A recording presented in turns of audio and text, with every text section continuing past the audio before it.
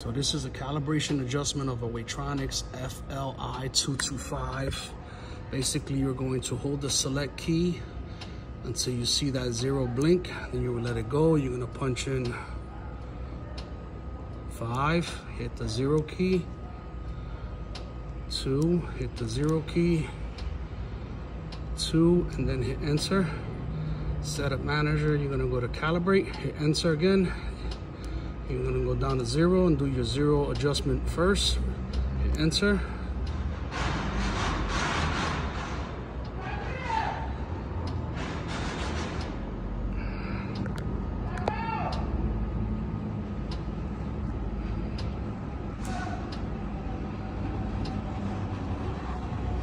Once you get here, you hit enter to save. And you're gonna go down to span and hit enter. Now to change this weight, basically with those up or down arrows, I already got 2500, but I'm gonna show you.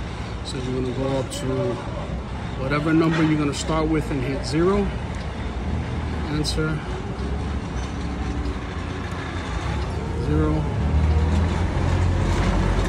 Zero. Zero. And you're gonna hit enter. Apply your load. At this point, we're going to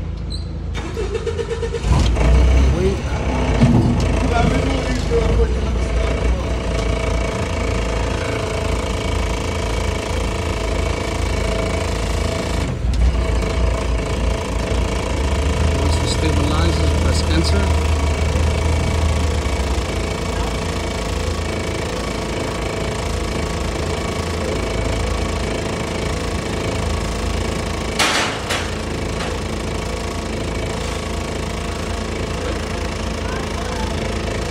that point, you're gonna press enter, escape, escape, escape, and then you're just gonna wait.